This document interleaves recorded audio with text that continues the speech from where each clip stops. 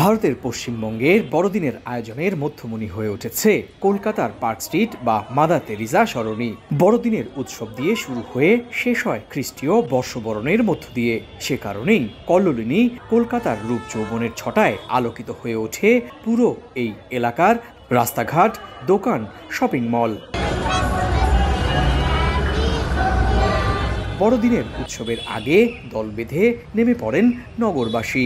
কেউ কেউ ছুটে আসেন ভিন রাজ্য থেকেও। তবে ভারতে নতুন করে করোনার আতঙ্ক ছড়ালেও তা নিয়ে ভাবছেন না কেউই। আমি তো অ্যাকচুয়ালি সিকিম থেকে এসেছি।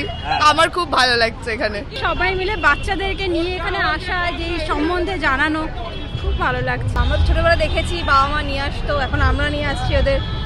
ওরা দেখুক একটু মজা করুক। ভয় তো যেটা আমরা কাটিয়ে এসেছি সেই ভয়টা তো একটু থাকেই। হতেও পারে। এখন কিছুই বলার নেই। কারণ গতবার যেটা হয়েছিল সেটা তো এরকম ভিড়ভাড় থেকেই তো ছড়িয়েছিল না? অটোমেটিক বিকাশ করতে সেট করুন অটোপে বিকাশ থাকলে আর কি লাগে? এর মধ্যে উৎসবের আনুষ্ঠানিক উদ্বোধন করেছেন পশ্চিমবঙ্গের মুখ্যমন্ত্রী মমতা বন্দ্যোপাধ্যায়। প্রতি বছরের মতো এবারও পার্ক স্ট্রিট এলাকা ঘুরে দেখেন তিনি। যেহেতু নিউ মার্কেট এলাকার ঠিক পাশেই ঐতিহাসিক এই পার্ক স্ট্রিট, আর নিউ মার্কেট এলাকার আবাসিকগুলোতেই থাকেন বাংলাদেশি পর্যটকরা, তাই এবারও বড়দিনের উৎসবে বাংলাদেশি পর্যটকদের উপস্থিতি থাকবে বলে মনে করছেন অনেকেই। সুব্রত আচার্য, সময় সংবাদ পশ্চিমবঙ্গ ভারত।